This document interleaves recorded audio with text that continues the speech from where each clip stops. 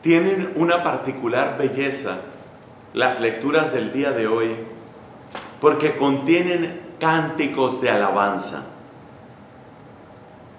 Encontramos a una mujer llamada Ana que era estéril, pero su esterilidad es vencida por Dios. Y ese hijo, el hijo que Dios le concede a Ana, se llama Samuel, uno de los grandes profetas en la historia del Antiguo Testamento. A manera de salmo, lo que hemos tomado son las palabras de Ana, su gozo, su proclamación de la victoria de Dios. En el Evangelio encontramos las palabras de otra mujer. Esta vez es la Santísima Virgen que canta la bondad, el poder y la misericordia de Dios. Dos cánticos de alabanza, dos expresiones de júbilo que salen de corazones que han conocido quién es Dios, porque al Señor se le conoce en sus obras. Dios no es un objeto que nosotros podamos controlar en un laboratorio. No es un objeto que podamos dar vueltas con nuestra mente filosófica.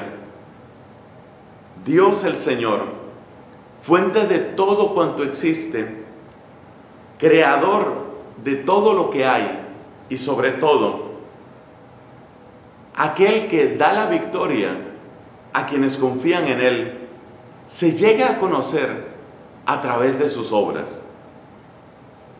Yo quiero destacar algo del cántico de la Virgen. Es conocido como el Magnificat por la primera palabra que este cántico tiene en su traducción al latín, Magnificat anima mea domino. Se suele traducir engrandece o proclama mi alma la grandeza del Señor.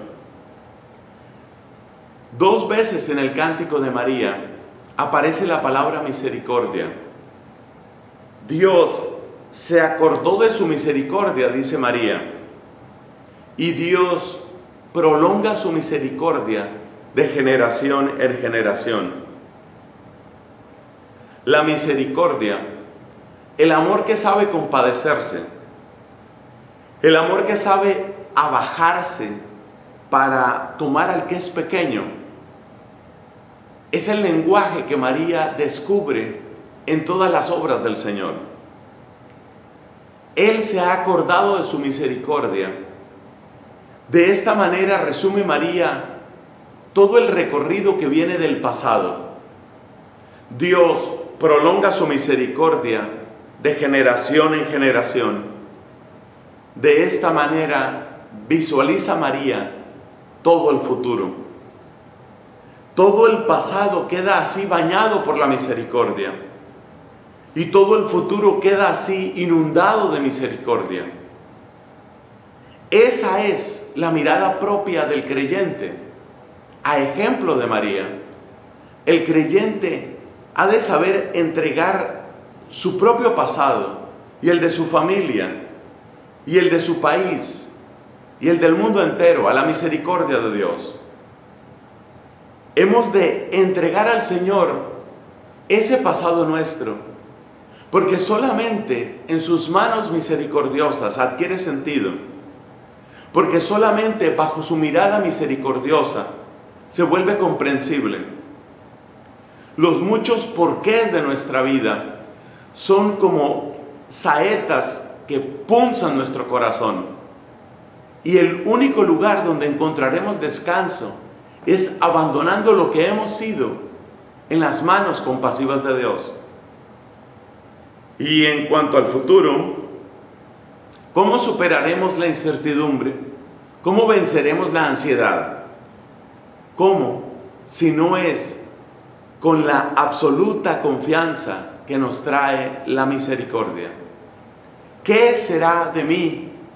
¿Qué me depara el futuro? Es una pregunta que para el cristiano solo tiene una respuesta. Aquello que brote del corazón misericordioso aquello que realicen las manos compasivas de mi Dios y mi Salvador. No olvidemos esta lección de María, especialmente cuando los tiempos son difíciles, cuando las batallas son fuertes, no olvidemos el ejemplo de ella, sus palabras y ese hilo precioso de misericordia que atraviesa la historia humana.